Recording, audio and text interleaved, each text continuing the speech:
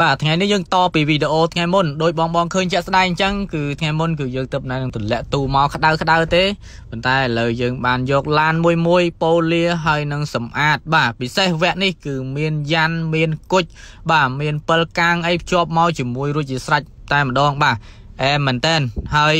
ឡានមួយមួយគឺយើងលំអិតមែនតែនបាទតាក់ទងជាមួយនឹងប្រព័ន្ធភ្លើងហើយនឹងម៉ាស៊ីនបាទហើយបងបងណាដែលស្រឡាញ់ត្រូវការបាទ014 ឥឡូវយើងចូលហើយសកាម៉ៃបង បាទហើយបងបងឃើញជាក់ស្ដែងអញ្ចឹងបាទ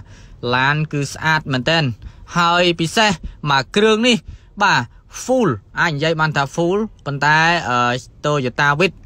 វាអត់មាន full ឬក៏ half full ទេប៉ុន្តែមួយគ្រឿងនេះគឺមកពេញសំណុំមកស៊ីនស្អាតតែម្ដង បាទមានបេតុងចុចលើជាកោតឆ្វេងស្ដាំបាទអែមែនតើហើយក្នុងនោះ គីឡូទឹកតែ60000គីឡូជាងទេបាទ60000គីឡូជាងទេបង បាទដោយបងបងឃើញជាក់ស្ដែងបាទនេះ60000គីឡូជាងទេអែមមែនតើអូ smooth ហ៎បង បាទហើយមកសនំមក full អាចនិយាយបានថា full បាទមានភ្លើងខាងលើអីមកមកស្អាត បាទ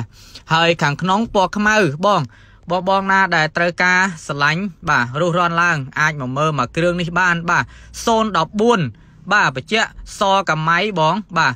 បាទបងបងណាដែលស្រឡាញ់បាទរស់រាន់ឡើងបងមកគ្រឿងនេះគឺតម្លៃតុនតុនជូនបាទ